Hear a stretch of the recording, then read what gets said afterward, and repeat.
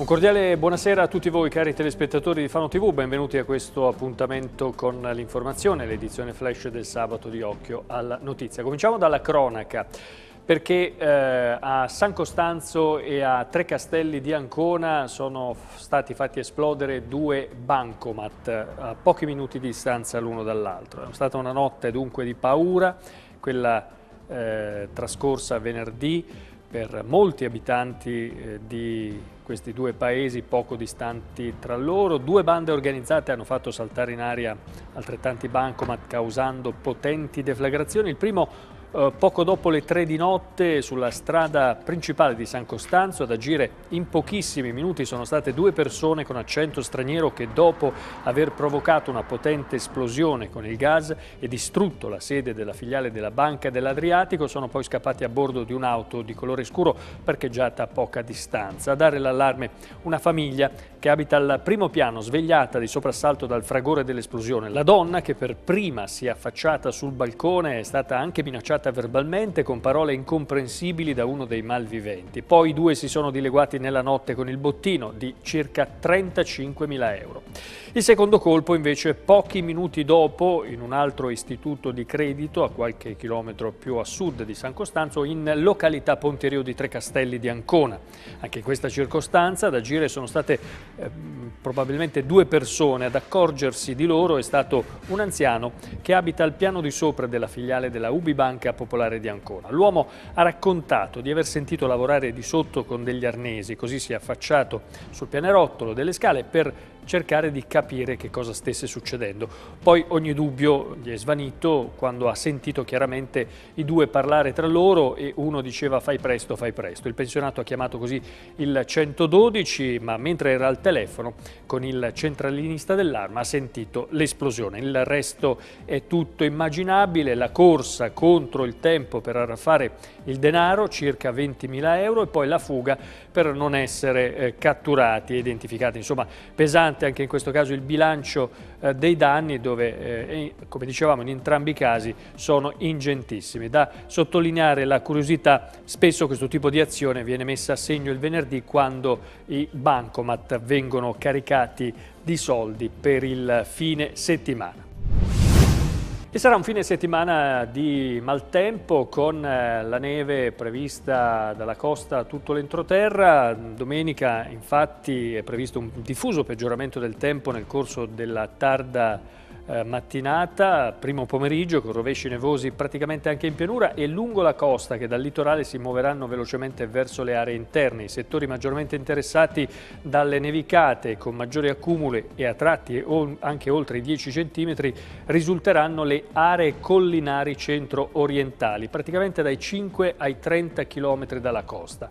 Ma anche le aree litoranee potranno vedere localmente accumuli di qualche centimetro, specie sul basso pesarese nel corso della eh, serata e della nottata, mentre già dalla sera di ieri e nelle prime ore di sabato mattina di questa mattina il personale della provincia di Pesaro Urbino è stato impegnato in trattamenti antigelo lungo le arterie di potenziale criticità. Al lavoro mezzi spargisale lungo varie strade provinciali. Alle 5 del mattino si è intervenuti sulla Monbaroccese, nelle zone di Novilare e Candelara, dove una nevicata ha reso necessario l'immediato intervento antigelo, mentre altri trattamenti per ghiaccio e leggera neve sono stati fatti in particolare sulla strada provinciale Urbinate-Feltresca, sulla Monte Calvo in Foglia e sulla parte alta della Valcesano, oltre a tratti della provinciale Pian di Trebbio e Pietralunga nella zona del Nerone. E adesso apriamo la pagina politica, in particolare parliamo della sanità perché a poche ore dal Consiglio monotematico che si terrà lunedì eh, prossimo a Fano, al quale parteciperà anche il Presidente della Regione Luca Ceriscioli, oggi alcuni consiglieri eh, del, dell'opposizione hanno eh, detto che voteranno a favore del documento preparato dal sindaco Massimo Seri che presenterà poi al Presidente Ceriscioli appunto lunedì nel corso del Consiglio Comunale. Sentiamo. Questo documento parla eh, di rivedere l'integrazione che non è stata fatta eh, come doveva essere fatta negli ultimi, soprattutto negli ultimi anni e negli ultimi mesi, affronta il tema di chirurgia H24 da salvaguardare per l'ospedale di Fano e, investe, e affronta il tema dell'investimento sul reparto di materno infantile, quindi eh, la salvaguardia del nostro punto eh, nascite eh, di Fano per il quale dal 2 di gennaio dopo aver avuto eh, notizie contrastanti ci siamo subito mossi e attivati. Io credo che questo sia il momento di dare una grande risposta come città al Presidente della Regione e a tutta l'amministrazione regionale, far vedere che questa città è, unita per difendere il proprio ospedale e anche eh, capace di tornare indietro sul progetto Marche Nord che comunque eh, aveva salvato il nostro ospedale nel 2012 perché se eh, l'integrazione che doveva portare ad un'unica struttura non è stata fatta come è stata fatta in questi anni e non potrà essere fatta nei prossimi mesi, chiediamo che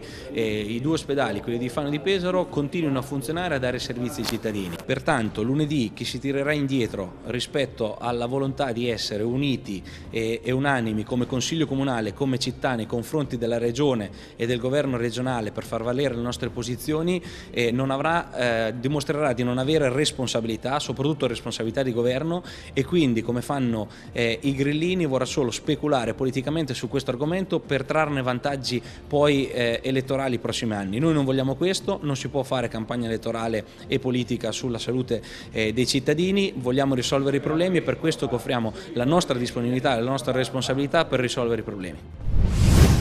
Ed ora il Palazzetto dello Sport, dopo la, i lavori di bonifica dell'amianto, oggi riaprirà, lo farà con un uh, quadrangolare di volley al quale parteciperanno quattro squadre, quattro squadre anche se vogliamo originali. Questa mattina il sindaco Massimo Seri ha espresso soddisfazione per questo importante traguardo. Con eh, la riapertura del Palazzetto dello Sport concludiamo tutto il processo di bonifica eh, dell'amianto di tutto il patrimonio pubblico nella città di Fano. È l'unica città nelle Marche e una delle poche eh, in Italia che ha fatto un'operazione di questo tipo, un'operazione straordinaria che significa un'operazione a tutela della salute dei cittadini e di tutti coloro che frequentano questi, questi luoghi. Ma vorrei ricordare un dato quante tonnellate di amianto sono state portate via da questa città. Soltanto nel Palazzetto dello Sport 10 eh, tonnellate. Eh, complessivamente dovremmo essere intorno ai 160 tonnellate di amianto in tutta la città. Voi capite che impatto che ha. Un'operazione di questa ha un valore ambientale, ma soprattutto eh, invece di rincorrere i problemi li abbiamo anticipato. Questo è anche un lavoro di prevenzione e soprattutto abbiamo ridato anche eh, a disposizione dei nostri sportivi, nel caso del Palazzetto dello Sport, una struttura efficiente, riqualificata e messa in sicurezza su tutti gli aspetti. Veramente una grande soddisfazione, un grande risultato ed è la giusta risposta che i cittadini meritano e quindi come sindaco e come amministrazione, e parlo anche degli assessori interessati, è un momento di grande soddisfazione. Domani la Chiesa Cattolica festeggia Sant'Antonio Abate e tradizionalmente c'è anche la benedizione degli animali. Vediamo allora eh, gli appuntamenti più importanti nel nostro territorio. E cominciamo da Carignano dove alle 9 di mattina il Vescovo Trasarti celebrerà una messa cui seguirà la tradizionale processione e la benedizione degli animali. A Fano invece in piazza 20 settembre l'appuntamento alle 10.30 con la dimostrazione e l'esibizione dei gruppi cinofili cui seguirà anche in questo caso la benedizione degli animali. A Tavernelle e Serungarina nelle parrocchie alle 10.30 la celebrazione di una messa solenne, alle 15.30 quindi nel pomeriggio la preghiera mariana e alle 16 la benedizione degli animali. Infine una, eh, chiudiamo come sempre con il calcio, l'appuntamento di domani con la Serie D.